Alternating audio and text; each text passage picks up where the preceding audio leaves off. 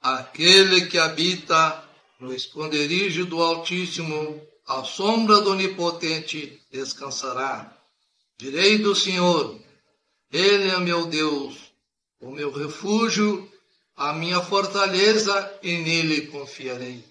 Porque Ele te livrará do laço do passarinheiro e da peste perniciosa. Ele te cobrirá com suas penas, e debaixo das suas asas te confiarás. A sua verdade será o teu escudo e broquel. Não terás medo do terror de noite, nem da seta que voa de dia, nem da peste que anda na escuridão, nem na mortandade que assola ao meu dia. Mil cairão ao teu lado e dez mil à tua direita, mas não chegará a ti.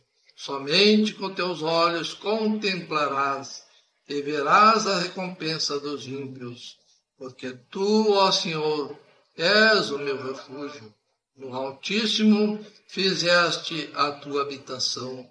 Nenhum mal te sucederá, nenhuma praga alguma chegará à tua tenda, porque aos seus anjos dará ordem a teu respeito, para te guardarem em todos os teus caminhos. Eles te sustentarão nas suas mãos, para que não tropeces com teu pé em pedra.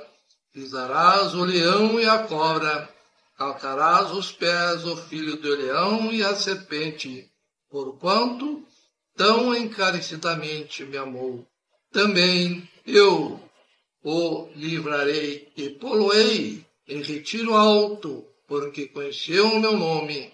Ele me invocará e eu lhe responderei. Estarei com ele na angústia, dela o retirarei e o glorificarei. Fartá-lo-ei com jura de dias e lhe mostrarei a minha salvação.